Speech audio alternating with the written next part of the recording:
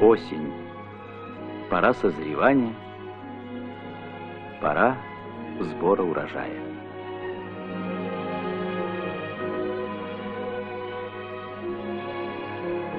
Но осень и пора ненастья, дождей, иногда жестоких сюрпризов природы.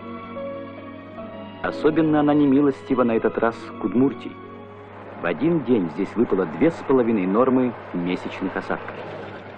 В колхозе «Путь Ильича» Завьяловского района смыло 25 гектаров посевов, образовались овраги.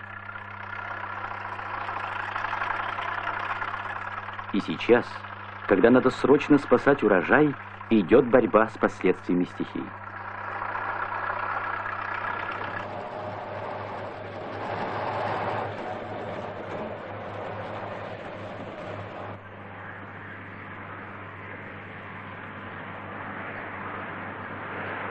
Трудный выдался год. И чтобы выполнить обязательства и снять урожай 165 центнеров с гектара, картофелеводы делают все возможное.